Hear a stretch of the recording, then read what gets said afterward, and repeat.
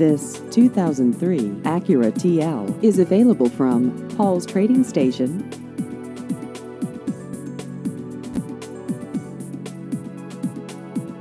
This vehicle has just over 112,000 miles.